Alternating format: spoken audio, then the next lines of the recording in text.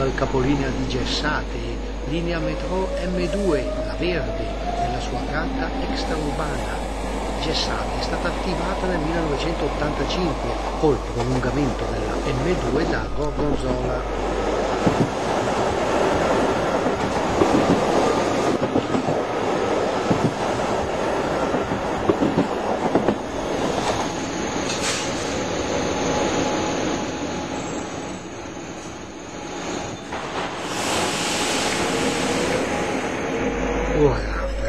Cascina Antonietta e Gorgonzola, uno storico deposito, è usato dai rotabili del metro. La linea 2 ha tre depositi, gli altri sono a Colonia Nord, una semplice rimessa di convogli, e a Famagosta, dove vengono accantonate anche vetture di valore storico in attesa di decisione. Il deposito di Gorgonzola nacque nel 1928 come deposito della Stella per i rotabili delle linee per Vaprio e Cassano. Intanto stanno sfilando le varie interconnessioni col deposito.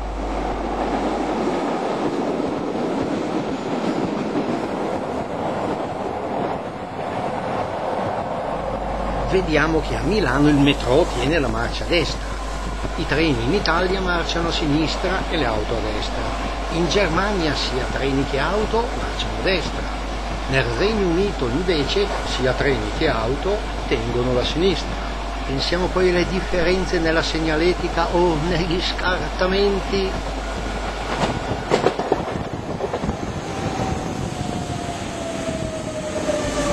stazione di Gorgonzola fu attivata nel 1968 come prima tratta di 13 km da Cascina Gobba delle linee celeri dell'Adda. Poi un raccordo portava alla superstite vecchia tranvia per Vaprio. All'inizio erano in servizio i tram. Dal 1972 arrivarono i convogli metro, lasciando ai tram la Gorgonzola-Vaprio. Nel 1973 iniziarono i lavori di prolungamento del metro fino a Gessate. Nel 1978 la superstite tranvia Gorgonzola-Vaprio venne soppressa.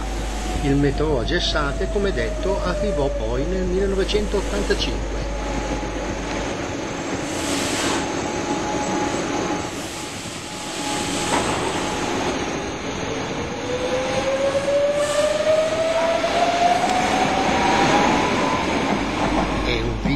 sui tram questo, da cui un uso intensivo di tendine in nero per saltare tratte anche lunghe di percorso del metro. Ecco. La tabella riporta i sei diversi lotti delle 176 elettromotrici e 88 rimorchiate della linea 2.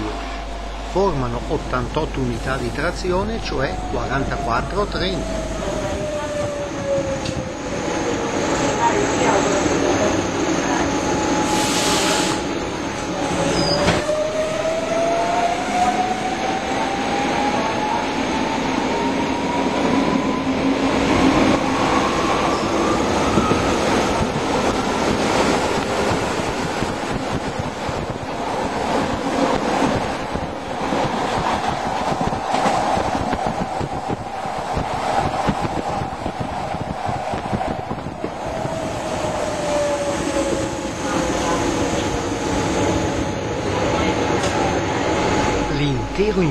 Impianto di questa stazione fa parte del bel viadotto fine anni 60 del Novecento, lungo 144 metri, progetto ingegner Silvano Zorzi, che scavalca il naviglio Martesana.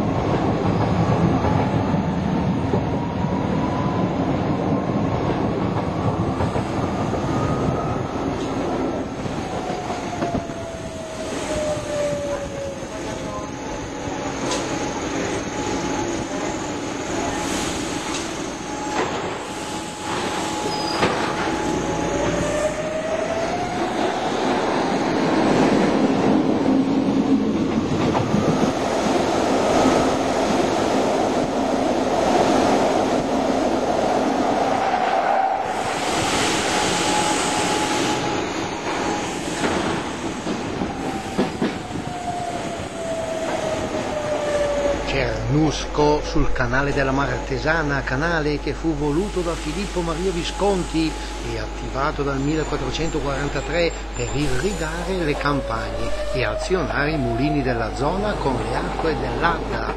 Nel 1497 Cal Leonardo da Vinci, studiando sbarramenti e conche per superare il dislivello, fece arrivare il naviglio Martesana a Milano.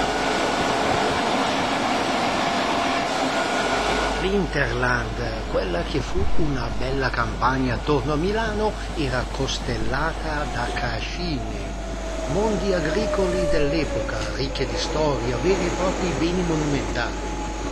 La cascina burrona come oggi e qualche pochi in fondo annetti fa.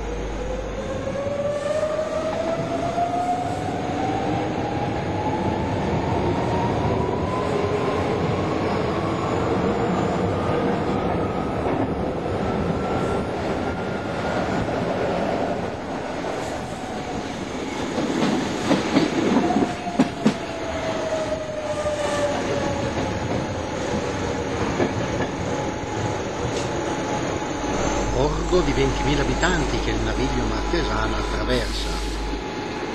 Fu sede dei Visconti di Modrone, ramo della famiglia Visconti.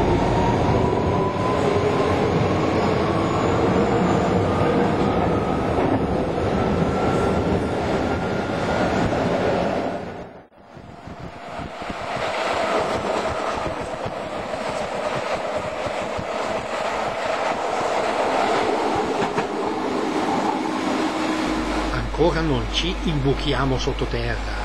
Iniziano per i binari viadotti e sottopassi della Cascina Gobba. Cascina Gobba, un nome certo curioso per questa frazione, forse per un muro storto della cascina in questione. Non era solo un borgo agricolo questo. Nei primi del Novecento esisteva anche un'osteria, l'antica trattoria della Gobba naturalmente, con giardino e sorgeva pure un biscottificio. Cascina Gobba, con la Garibaldi FS, è l'unica stazione metro ad avere quattro binari, perché è la diramazione di 3,3 km con la tratta per Cologno, con le tre fermate di Cologno Sud, Centro e Capolinea Nord. La tratta per Cologno è completamente fuori terra, col primo tratto tutto in viadotto. Diramazione attivata nel 1981 si intravede là la struttura tutta su sopra elevata della metropolitana leggera automatica che dal 1999 unisce la metro della Sinagoga con l'ospedale San Raffaele. Tecnicamente una funicolare orizzontale e una cabina fa la spola su un percorso di 682 metri. E questo è il sovrappasso pedonale su quella bestia nera della tangenziale est fra la metro 2 e la funicolare.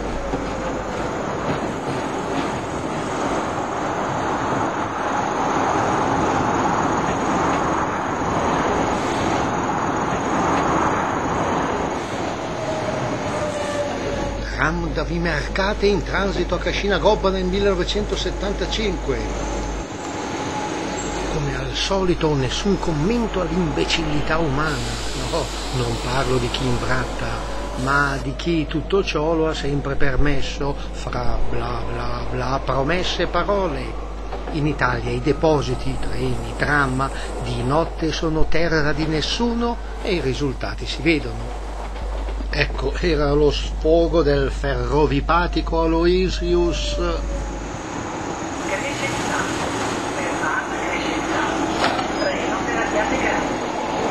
Agher Crescenzi, cioè il campo di Crescenzi.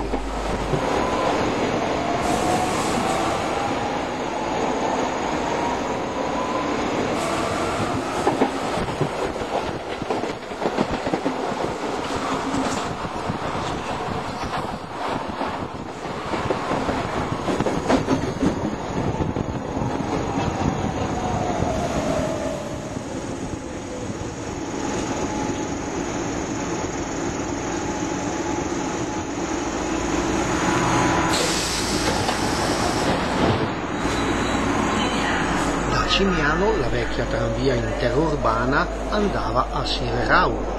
Le ferrovie dell'Adda avrebbero dovuto sostituirle le tranvie interurbane, cioè la Milano-Vaprio e la Milano-Vimercate. Fu realizzata solo la tratta fino a Gorgonzola, prima gestita con tram, poi con la linea 2 del metro. Subito dopo Cimiano il metro scompare sottoterra.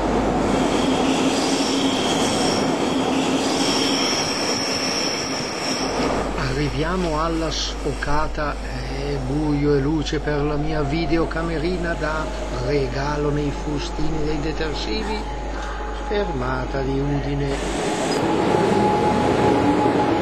Scendo alla fermata dopo Lambrate FS e lascio la linea 2 del metro con questa locandina della sua inaugurazione All'esterno, nel piazzale della stazione, dovrebbero esserci i vecchi tram 1928 della linea 23 per Piazza Fontana, ma eh, qui ancora per qualche mese non arriveranno.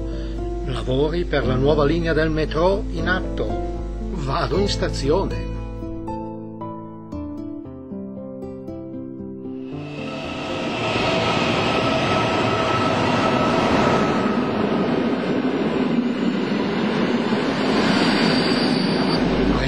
Primo che passa per Milano Centrale, facendo obtorto collo buon viso ai dannatissimi finestrini sigillati.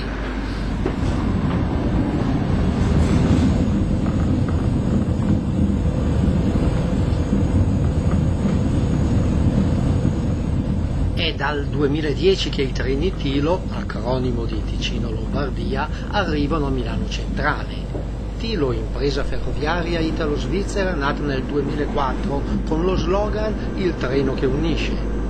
19 convogli Flirt della Stadler di tensione 15 kV alternata, 3 kV continua, a 4 casse, potenza 2600 kW, 160 all'ora, comando multiplo fino a 4 convogli. Telegrafico come ogni volta che transito dalla maestosa centrale. Le tettoie, lunghe 361 metri, la maggiore larga 72, sono opera dell'ingegnere Alberto Fava, specializzato in strutture in ferro. La stazione centrale di Milano fu inaugurata nel 1931, progetto di Ulisse Stacchini. L'architetto appena quarantenne vinse il concorso per la stazione col suo progetto dal titolo In Motu Vita tutti conosciamo questa stazione centrale, ma com'era la vecchia Milano Centrale? Era così quando fu inaugurata nel 1864 da Vittorio Emanuele II, ma era stata progettata e i lavori iniziati ancora sotto l'impero austro-ungarico. Aveva una tettoia in ferro e vetro, lunga 235 metri, larga 40, che copriva sei binari, di cui quattro per passeggeri. Un vantaggio era una stazione passante, un grave svantaggio non era ingrandibile. Mentre esco sul lato che dà in piazza 4 novembre mi sovviene una critica che fu fatta all'inaugurazione di questa stazione. Mancavano le sputacchiere.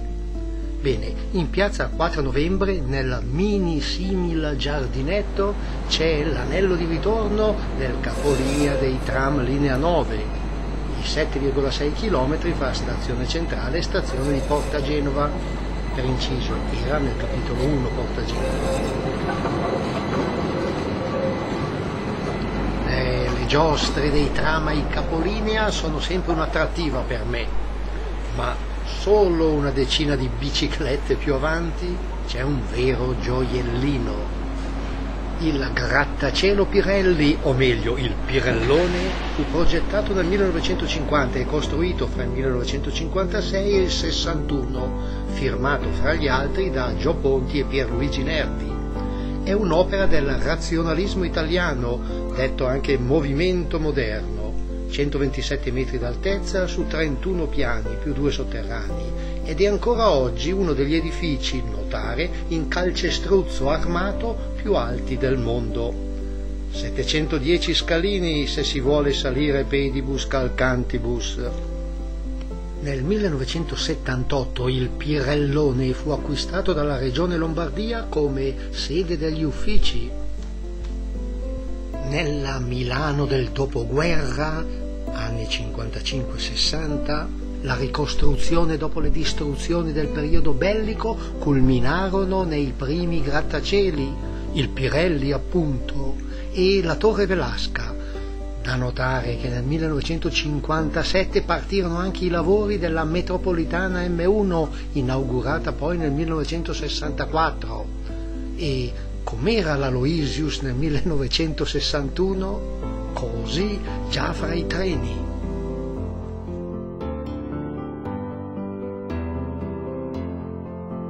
Cominciamo bene, direbbe Giobbe Covatta ma poi non serve andare lontano.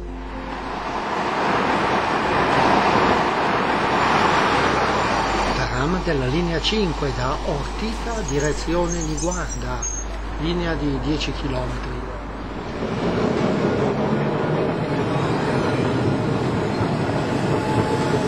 Avevano già 33 anni questi tram carrelli 1928 quando fu inaugurato il Pirellone nel 1961. La torre Breda lungo via Pisani, 117 metri, 30 piani, architetto Luigi Mattioni, anno 1954.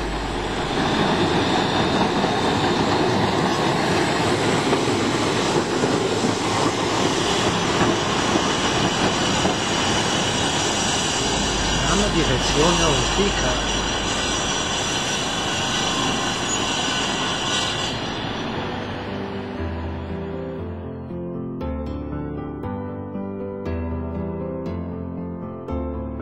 Sulla mia destra la monumentale facciata della stazione centrale, sulla sinistra la torre Breda.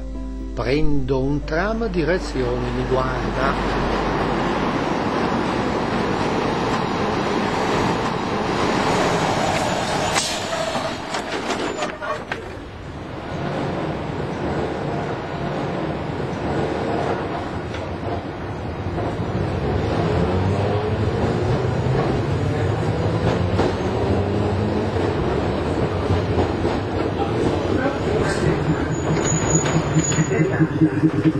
stazione centrale M2, M3.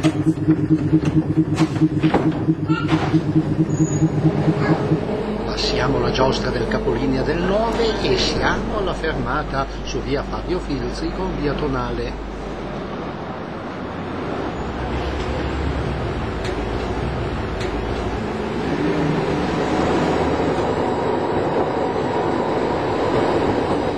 Voltiamo su Viale Lunigiana con l'omonima fermata.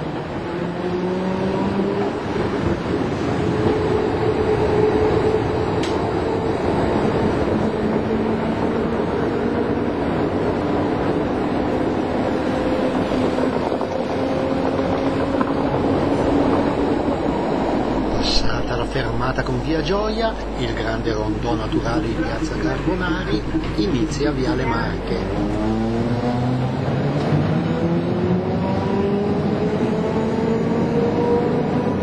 Svoltiamo su Viale Zara.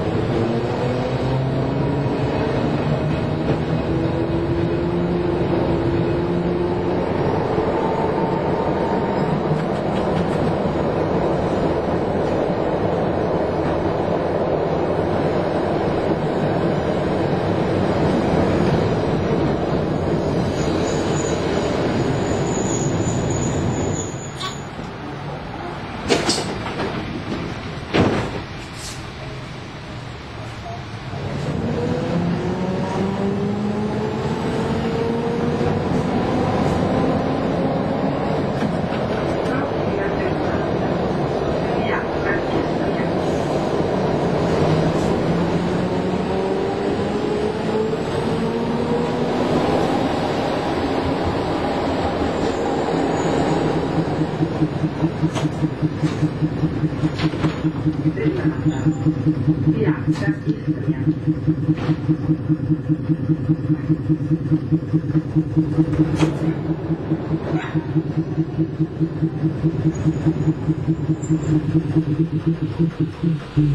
Viale Zara, dopo la fermata di Zara Istria, diventa Viale Fulvio Testi.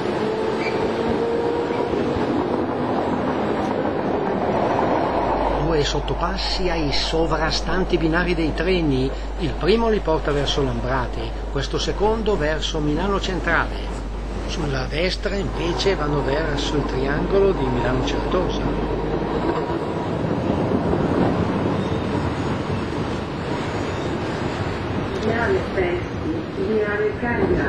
E svoltiamo su Viale Cagranda con l'omonima fermata.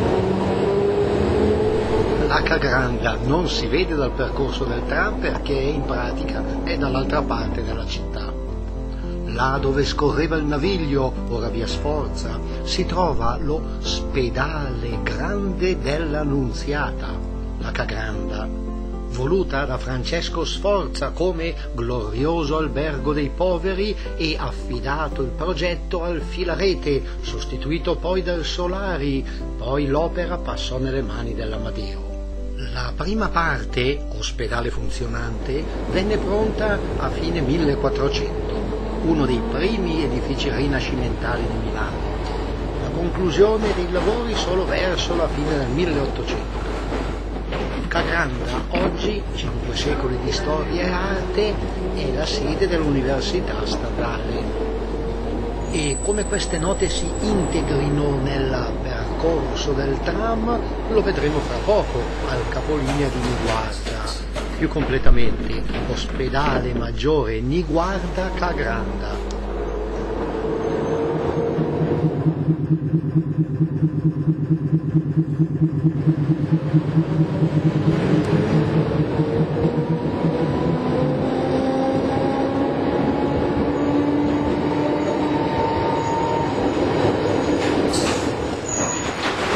Fermata.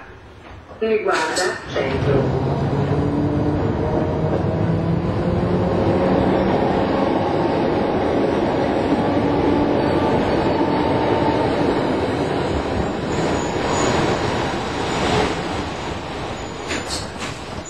Via Minato, via Perugia. Cartello a bordo, il primo prototipo la 1501 nel 1927, il secondo il 1502 nel 1928, costruzione Carminati e Toselli. 1928-30 vengono costruite 500 vetture dalla 1503 alla 2002 a cassa metallica chiodata. 1931 viene aggiunta una mezza porta posteriore per facilitare la discesa dei passeggeri e la postazione del bigliettario passa in prossimità della porta anteriore. 1943, agosto, gran parte delle vetture molto danneggiate o distrutte dai bombardamenti. Fine guerra quasi tutti i tram 1928 vengono ricostruiti grazie alla loro robusta ossatura in acciaio. L'unica parte sopravvissuta alle fiamme. 1970 la livrea verde diventa l'arancione ministeriale e la tipica pertegheta viene sostituita dal pantografo. 2007 il ritorno al passato con la livrea in giallo, quella dei primi prototipi. 2080 i tram 1928 sono ancora in servizio. E voilà, ecco il capolinea di Niguarda, dove fanno inversione anche i tram Sirio della linea 4, Niguarda Piazza Castello, limitati però a Maciachini M3. Ora godiamoci un cincinino, la giostra dei tram a questo capolinea di Niguarda Parco Nord.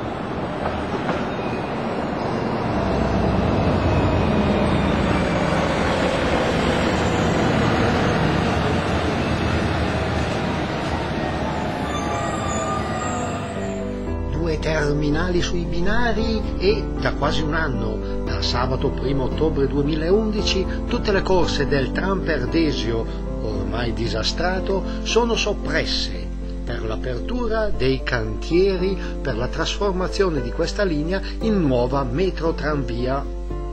La extraurbana Milano-Desio, rimando a uno dei miei videini, anno 1992, in cabina e con visita deposito di questa linea e anche a questo modellino che mi autocostruì.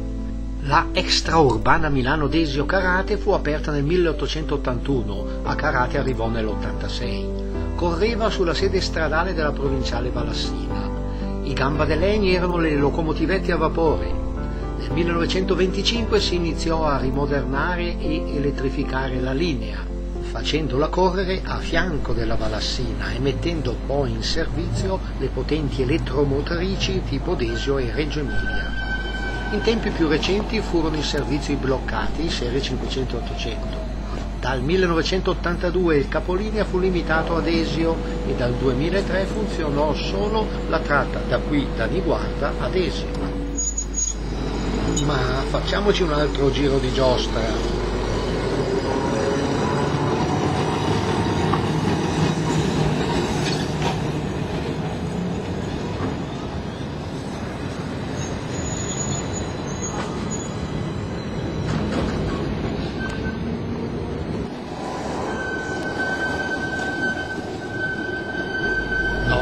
questo fischio tremendo non è dello splendido inquadrato puro sangue tram 28, è di un non inquadrato buon tram Sirio che sta pure lui impegnando l'anello di ritorno. Eh, c'è tutta una letteratura in merito al fischio del pur bello Sirio e non giova certo alla sua popolarità, ecco, tipo i tram Cobra Zurigo. Sembra, dicono, vado a ruota libera, sia colpa del passo del carrello, oltretutto solidale alla cassa, va meglio solo con rotaie bagnate dalla pioggia.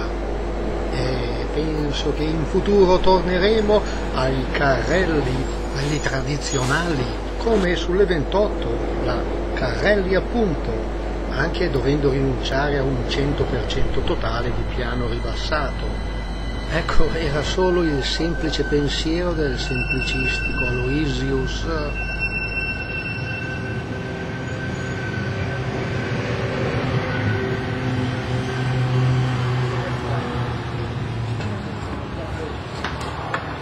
Anch'io un giro in giostra.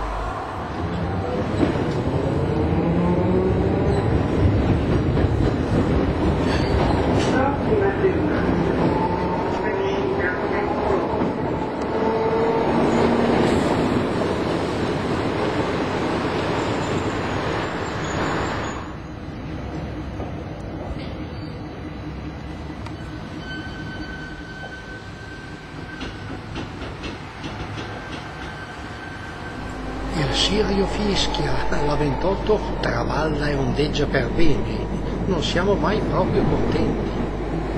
Ora nel ritorno tacerò, traballando per bene sull'ancora fantastica 28.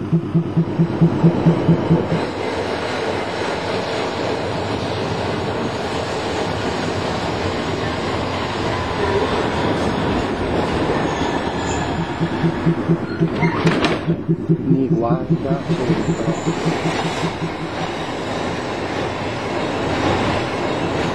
Via Rinaldo Via Ferrara.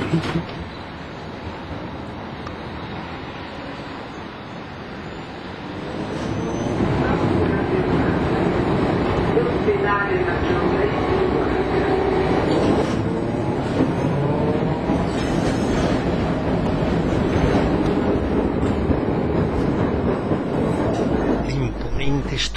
Struttura dell'ospedale Niguarda Cagranda, progetto ingegner Marcovici e architetto Arata, con opere d'arte di Francesco Messina e Arturo Martini. L'ospedale è attivo dal 1939, già allora occupava 322.000 metri quadrati con 17 edifici e 1500 posti letto. Al tempo era legato amministrativamente al vecchio ospedale Cagranda del Filarete, cui accennavo prima, e del quale riprende parte del nome.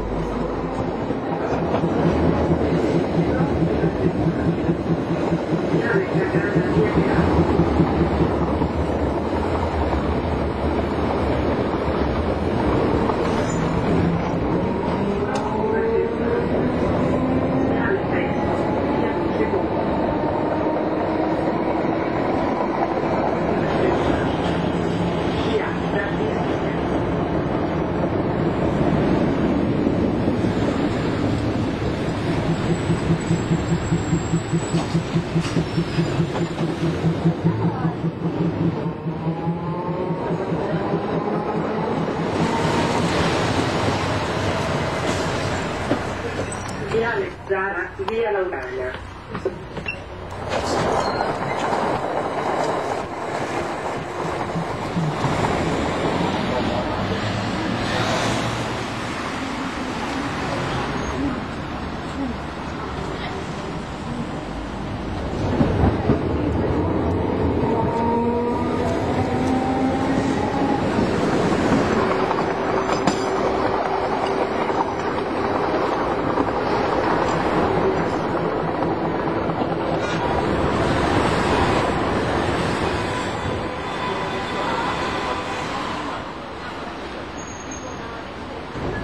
Fulminea usucapione,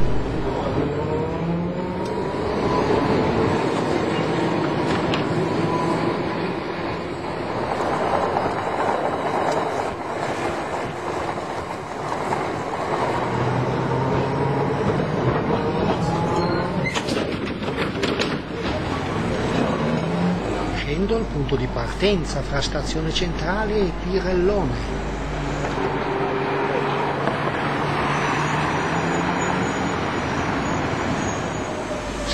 Già che il metro porterà in piazza Duomo a far turismo da provinciale.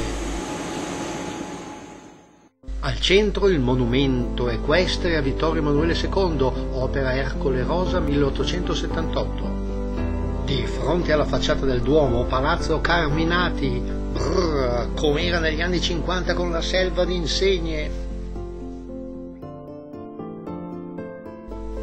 Palazzo dei Portici Meridionali oggi e a fine costruzione, 1875 circa, con un isolato ancora in mezzo alla piazza. Proseguendo in senso antiorario come ehm, il tram sullo sfondo, il Palazzo dell'Arengario, costruito fra il 1936 e il 1956, sulla facciata bassorilievi di Arturo Martini, due corpi di fabbrica, si dice così, serie di arcate a tutto sesto, facciate rivestite di marmo di Candoglia. I due semicorpi incorniciano in piazza Diaz il palazzo della Terrazza Martini anno 1956, uno dei circa 200 edifici realizzati a Milano dall'architetto Luigi Mattioni. Prima dell'Arengario era così, sullo sfondo Palazzo Reale, per molti secoli sede del governo della città, ora sede di mostre e esposizioni. Origini nel basso medioevo, il periodo dei comuni, ma è nel 1773 che il Pier Marini, affiancato da Pollack, ristrutturò il Gran Palazzo, stile sobrio e austero, inaugurando il neoclassicismo a Milano. Ora ripartiamo da Palazzo Carminati per terminare con un giro in senso orario, i portici settentrionali e naturalmente la Galleria Vittorio Emanuele II che sbuca in Piazza della Scala. Progetto Giuseppe Mengoni, stile eclettico, struttura in ferro vista, costruita fra il 1865 e il 77. Mengoni, ingegnere e architetto, aveva vinto nel 1859 un concorso per la sistemazione di tutta Piazza del Duomo. I lavori durarono 12 anni. Invece i lavori per il Duomo di Milano la celeberrima fabbrica del Duomo è divenuta infatti sinonimo di lavori infiniti, la storia dunque iniziò con il progetto nel 1386, con la volontà di Gian Galeazzo Visconti di edificare una nuova cattedrale. Eclatante e complessa costruzione gotica, guglie e pinnacoli. In pillole, la facciata fu terminata poi solo a fine 1800 e l'abside del Duomo dà in pratica su Piazza Fontana e torniamo ai tram. Però, però, prima di salire in tram, mi soffermo un momento per qualche transito. Da Piazza Fontana si può dare uno sguardo ai tram su via larga, adocchiare un bel campanile gotico o attendere lo stridore di un sirio su stretti raggi di curvatura pur a bassissima velocità.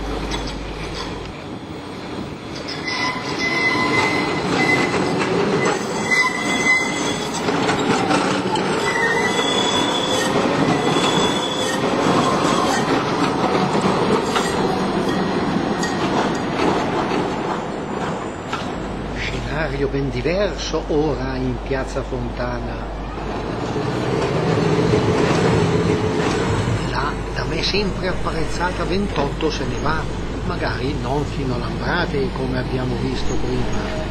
Bene, la sorte mi assegna dunque un Jumbo Tram serie 4900 della linea 15 per Rozzano.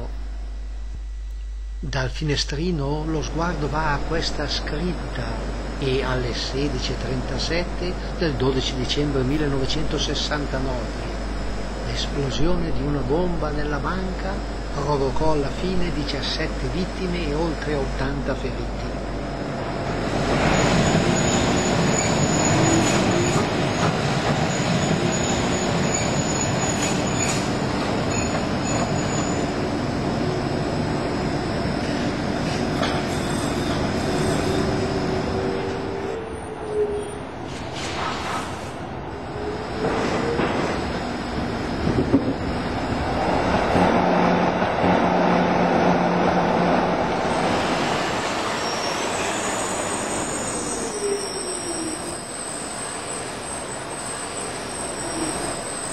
La torre Velasca, costruita nel 1957, è magari ehm, un cincinino originale, ma è il primo grattacielo meneghino che seppe guardare all'antico, il bello antico, progetto di un gruppo di quattro architetti del razionalismo italiano, costruita nel 1957 all'inizio del boom economico. Vuol richiamare la bellezza del tessuto medievale della città un medioevo aggiornato al XX secolo, insomma.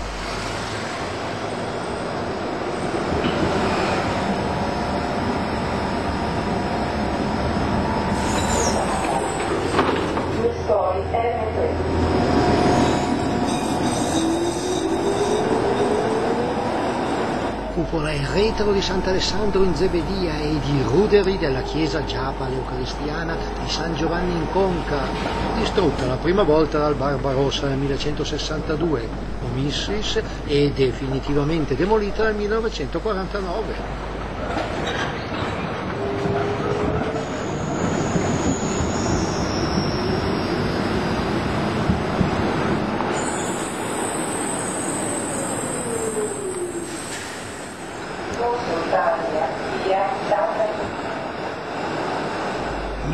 Trova con l'obiettivo impreparato la piazzetta con le chiese di Santa Eufemia e San Paolo Converso, mentre ora sfila Santa Maria dei Miracoli.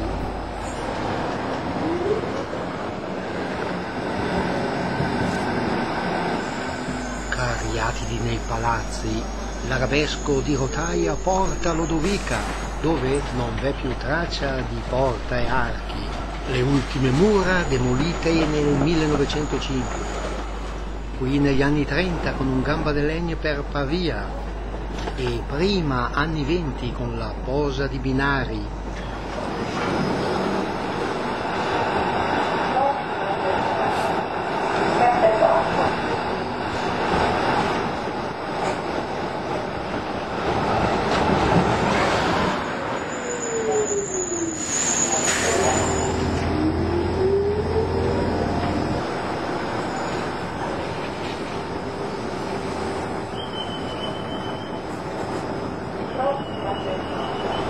via Pezzotti il sottopasso i binari della cintura sud ferroviaria fra la stazione Milano Romolo e lo scalo di Porta Romana.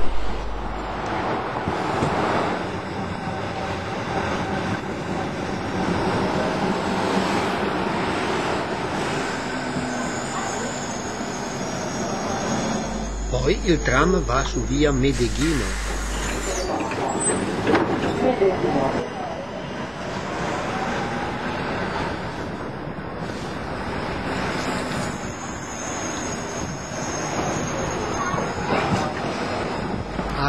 Ad Abbiategrasso M2 invochiamo via Missaglia.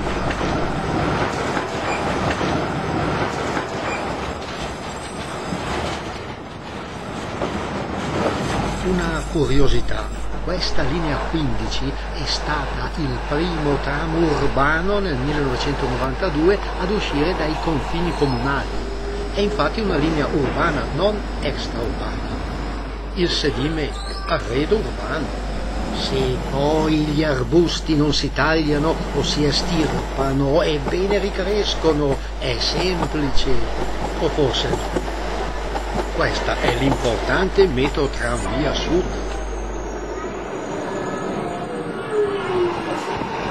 Io invece i tram della linea 15 li ricordo a San Siro anni 70.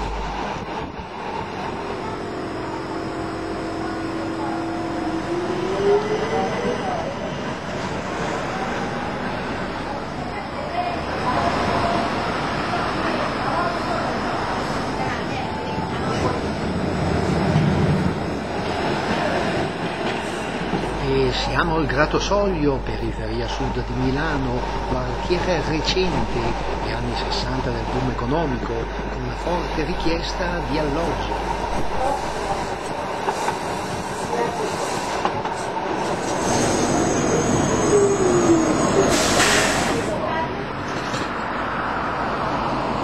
Al Gratosoglio c'è l'anello di ritorno dei tram della linea 3, Gratosoglio Duomo, che vedremo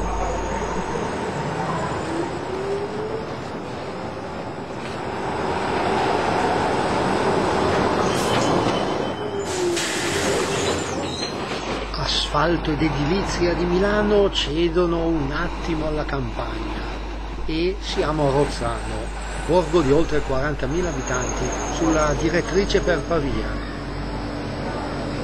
Sovrappasso pedonale, serve un parcheggio.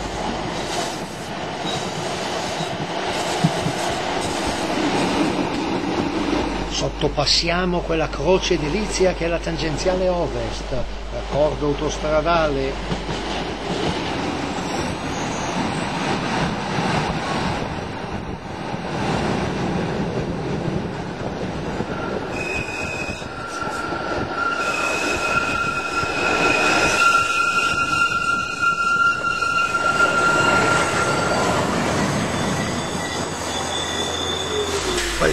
Dice un arresto ardito, ma non è forse vero che in passato il tranviere veniva chiamato Maneta? La torre Telecom di Rozzano, anno 1990, 187 metri d'altezza, ascensore esterno dentro una struttura trasparente, ma dalla vista panoramica lassù sono esclusi i turisti.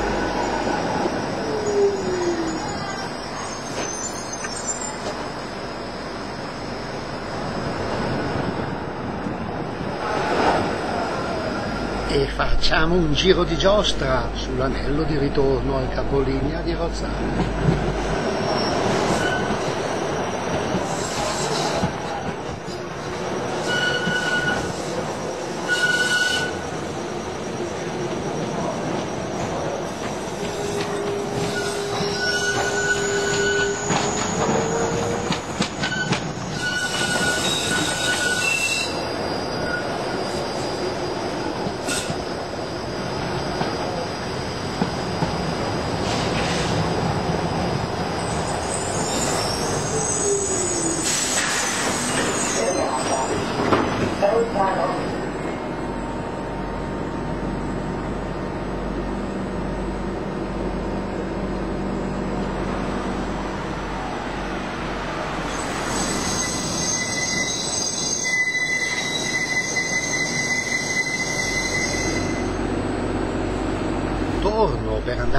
Grattosoglio a prendere un tram della linea 3.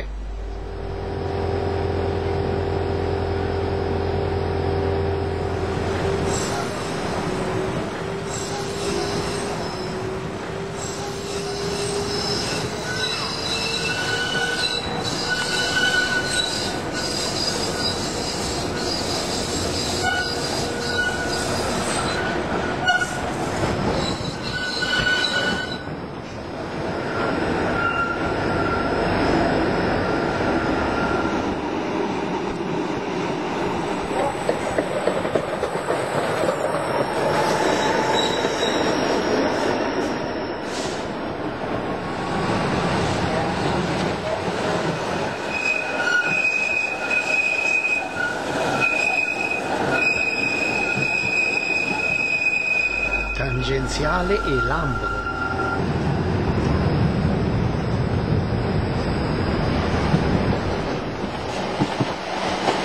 Quanti mai i mercati rionali a Milano? Mi rispondo, almeno 95 alla settimana.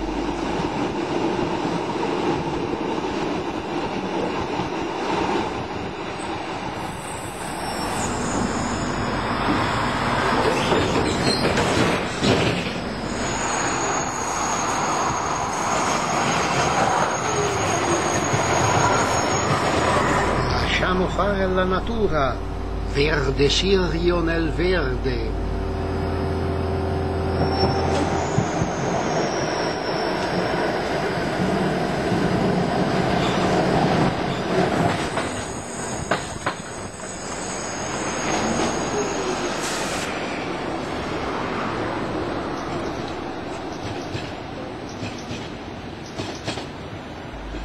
Perché Milano è proprio bella in tram dalla linea 15 alla 3 per andare alle medioevali colonne di San Lorenzo.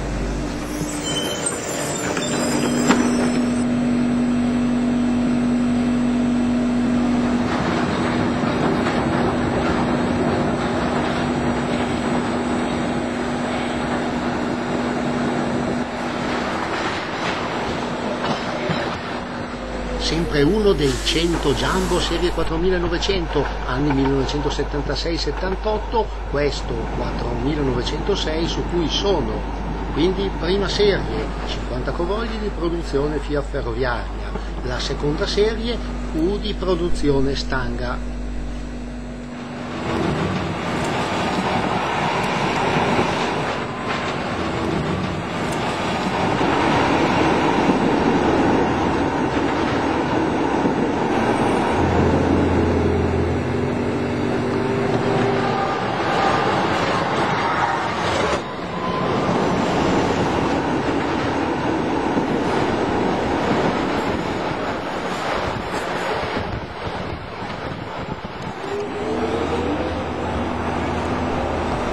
fermata di Abbiategrasso M2, la linea metro che parte da due rami, Gessate Cologno Nord, diventa linea unica da Cascina Gobba a Famagosta, dove si divide ancora in due rami, uno con capolinea qui a Abbiategrasso, l'altro a Forum, a Milano Fiore.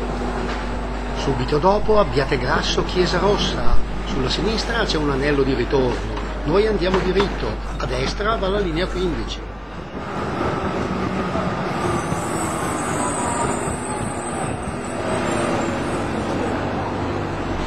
Fermate dopo, in via Meda, anche la linea 3 sottopassa i binari ferroviari da Milano Romolo a sinistra allo scalo Romana a destra.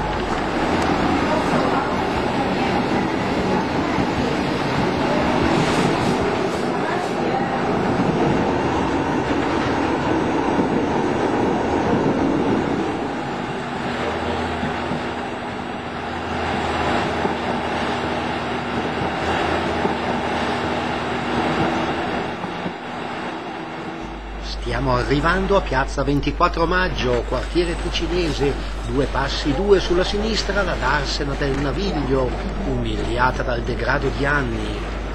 Passiamo attorno a Porta Ticinese con l'omonima neoclassica Porta del Cagnola, primi del 1800, con gli annessi caselli daziani.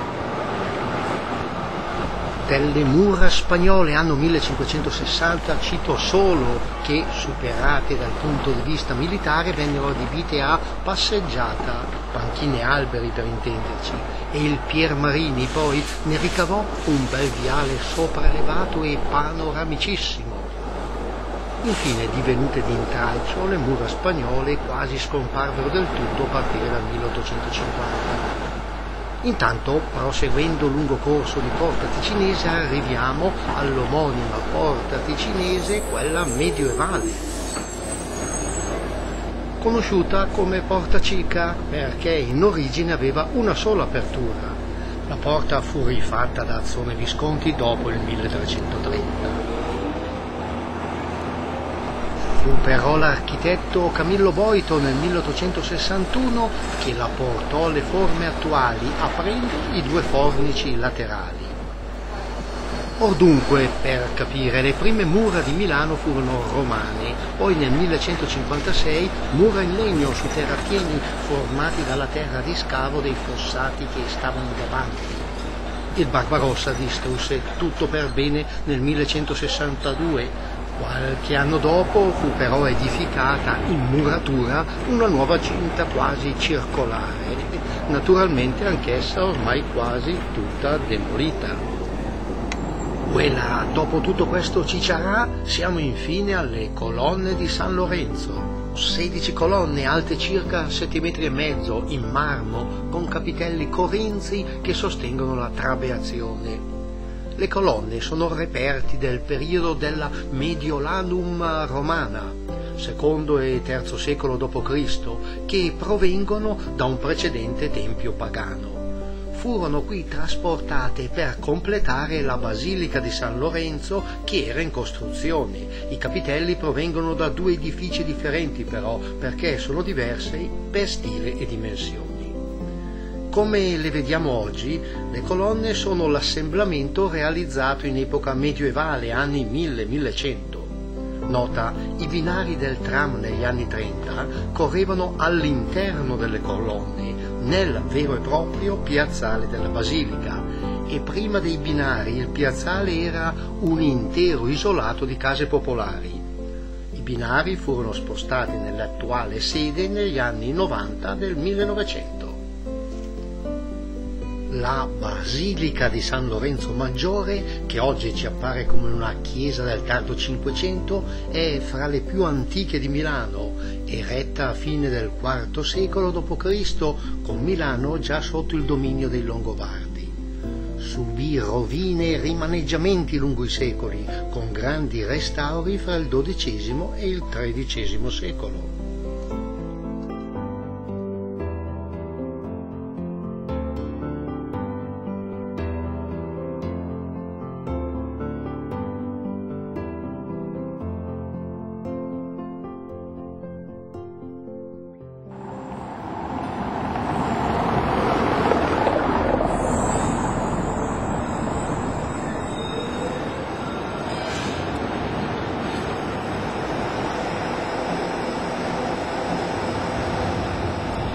Forse sgrammaticato, meglio pleonastico, ma lasciatemelo dire, a me mi piace, ecco, i tram nella storia intendo.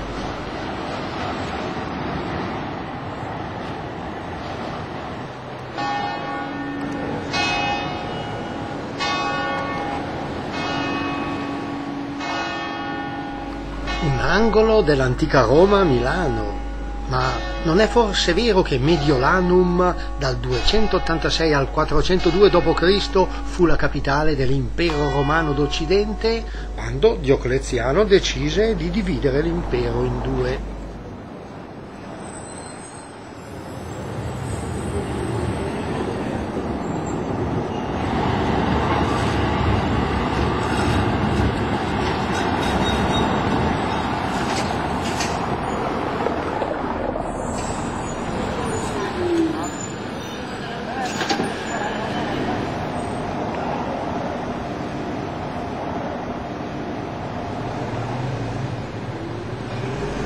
Sopra il fornice centrale Madonna e Santi, rilievo gotico, bottega di Giovanni di Balduccio.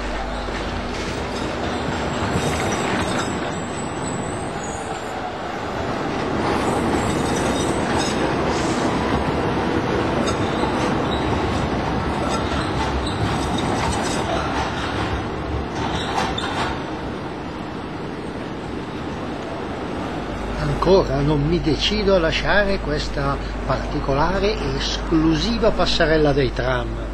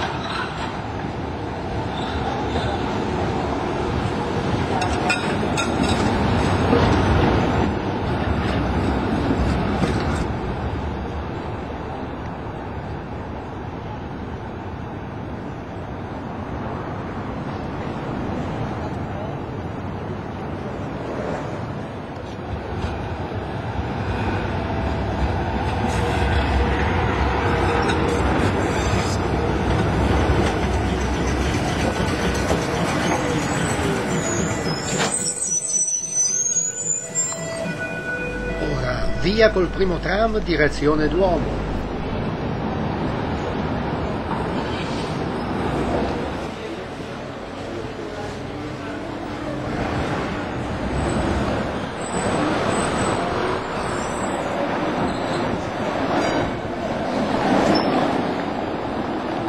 Da Corso di Porta Ticinese a via Torino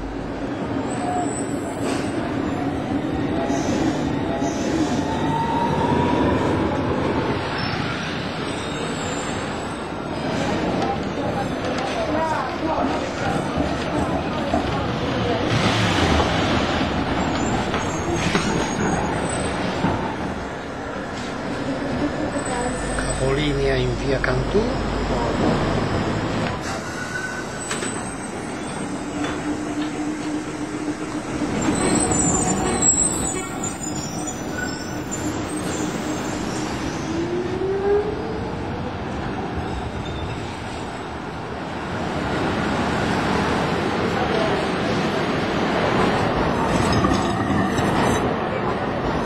via Orefici, piazza dei mercanti e anche questo videino andrà a terminare in piazza Duomo.